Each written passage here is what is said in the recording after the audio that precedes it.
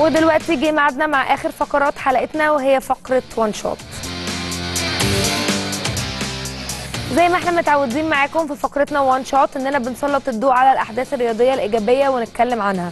النهارده حصد المنتخب المصري للقوس والسهم المركز الأول ودرع البطولة العربية التل- 13 اللي اختتمت منافستها في السعودية مؤخرا بمشاركة 110 لاعب ولاعبة يمثلون 17 دولة. فازت بعثة منتخب مصر بأربع ميداليات ذهبية وأربع ميداليات فضية وأربع ميداليات برونزية. لتتصدر ترتيب البعثات المشاركة في البطولة العربية.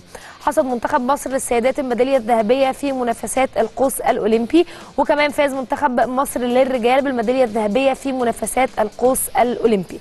فاز كمان أحمد فخري بذهبية الفردي للقوس المركب وكمان علي عبد البر بالميدالية الذهبية في الدور التأهيلي للقوس الأولمبي.